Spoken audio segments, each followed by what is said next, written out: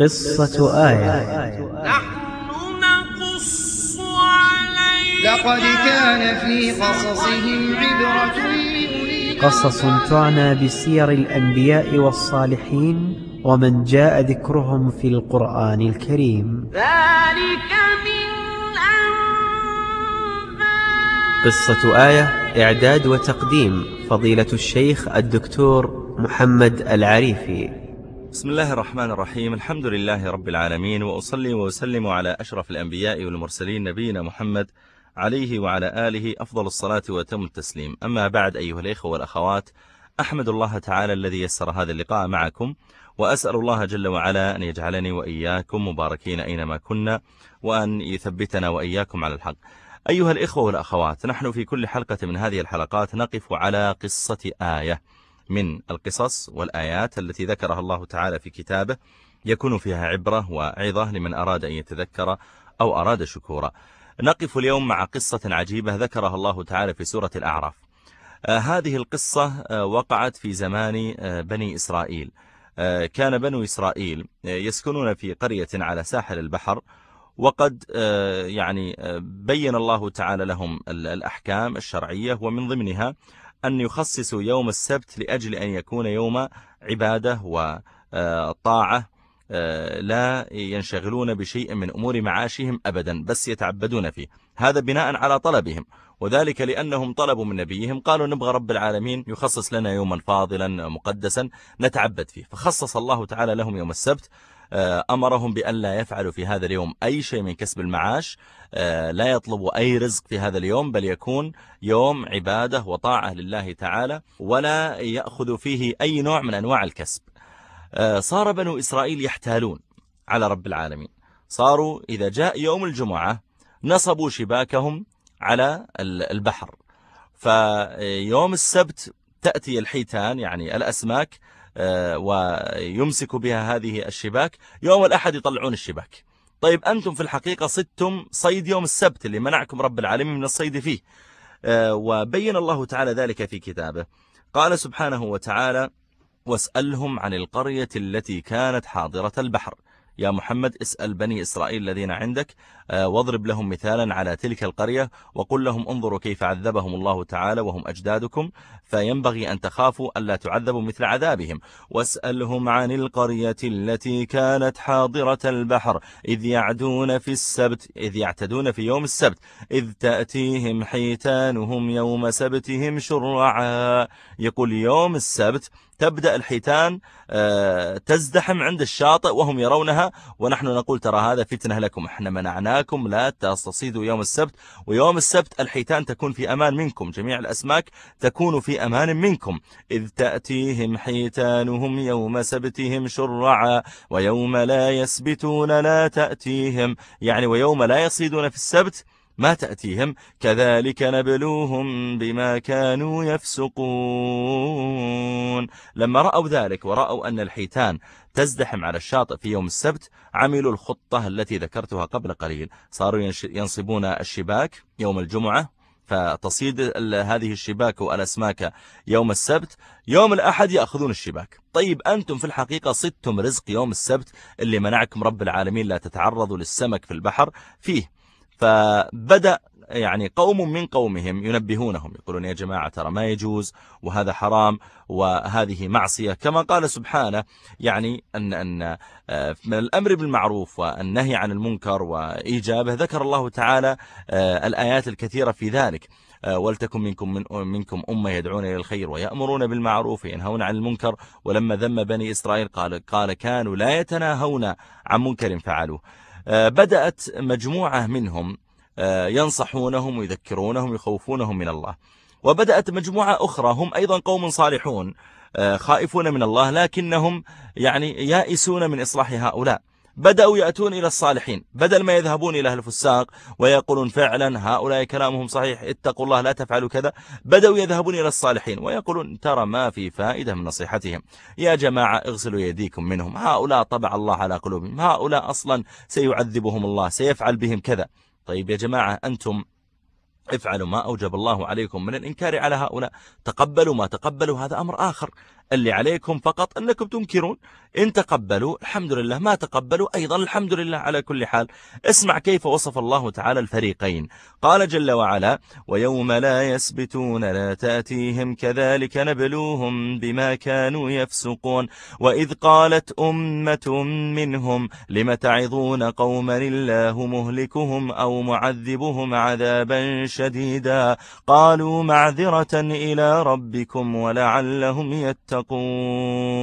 بدأ أولئك الطائفة التي تنصح تقول يا جماعة نحن ندري أنهم يمكن ما يقبلوا منا نصيحتنا ندري بهالكلام. نعلم أن الأمر الذي هم وقعوا فيه أمر كبير جدا وأنه صعب عليهم أن يتركوه لأن الشيطان مستولي على قلوبهم. كل هذا نعلمه.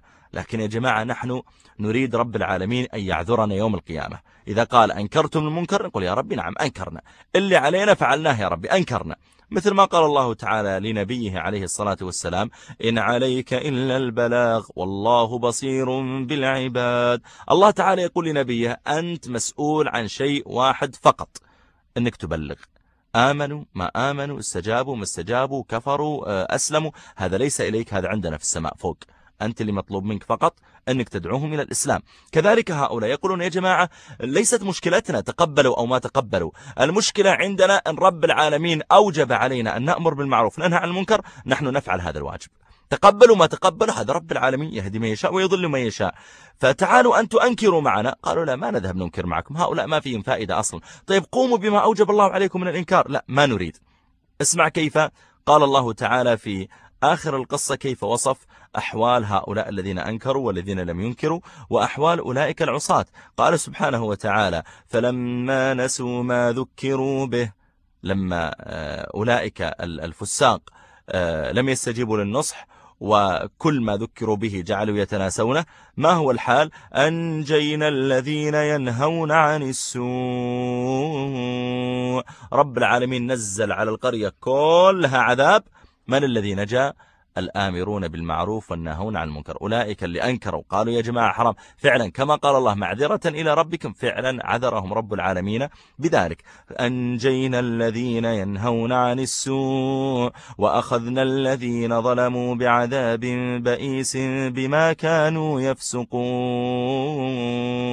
جعل الله تعالى العذاب على أولئك. قال الله فلما عتوا عما نهوا عنه قلنا لهم قلنا لهم كونوا قردة خاسئين.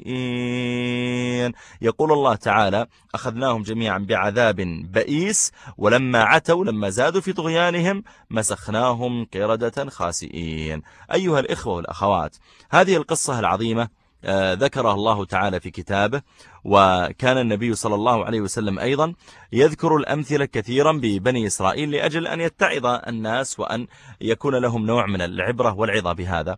لنا فيها عدد من الفوائد.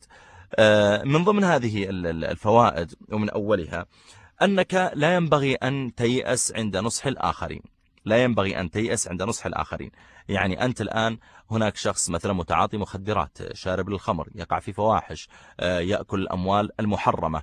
آه، أنت أبذل ما تستطيع في سبيل نصحه. مسألة يهتدي ما يهتدي يتقبل النصح ما يتقبل النصح. ليس هذا ليس إليك هذا إلى رب العالمين. من شاء الله تعالى هداه ومن لم يشاء الله تعالى لم يهده. أنت المطلوب منك تبلغ هذا الدين.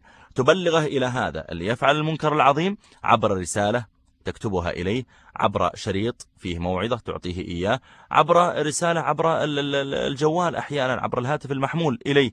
آه، ترسل إليه إيميل. آه، تبلغ شخصا أن, أن يبلغ النصيحة.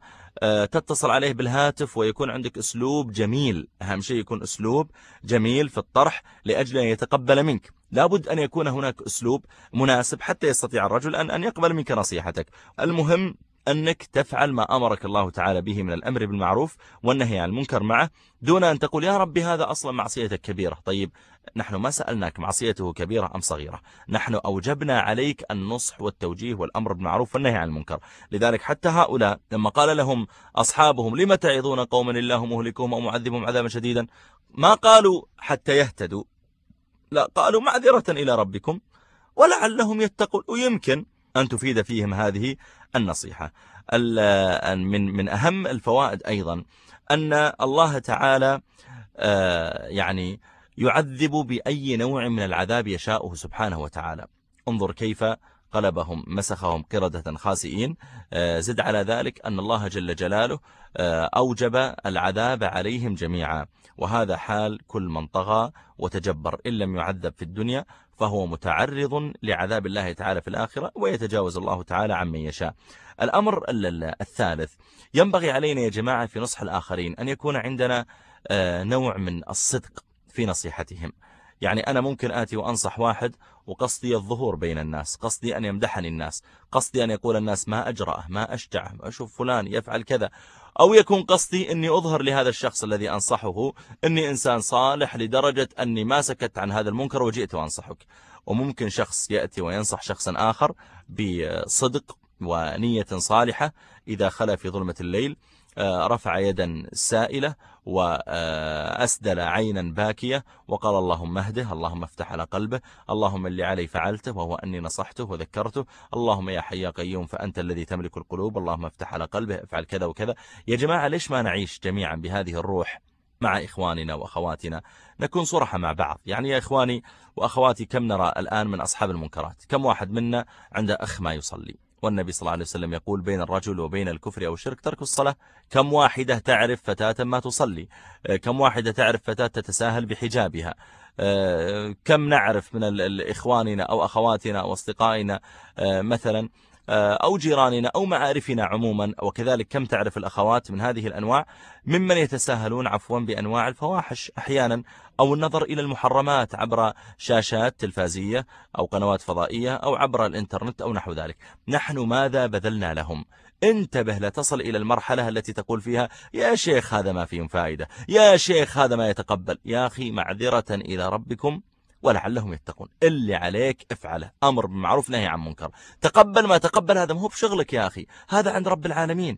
أنت أحسن نيتك بين يدي الله. كما قال النبي صلى الله عليه وسلم فيما رواه مسلم. من رأى منكم منكرا فليغيره. هذا الذي أوجب الله تعالى عليك. إن استطعت أن تفعله وإن لم تستطع فلا يكلف الله تعالى نفسا إلا وسعها. أسأل الله تعالى أن يوفقني وإياكم لكل خير وأن يجعلنا ممن يقومون بأمر الله تعالى الذي آه، يأمرهم به وأن يجعلنا مباركين أينما كنا. والله تعالى أعلم وصلى الله وسلم وبارك على رسول الله. كنتم مع قصة آية إعداد وتقديم فضيلة الشيخ الدكتور محمد العريفي تنفيذ المهندس أيمن رزق إشراف الأستاذ عبد الإله الإبراهيم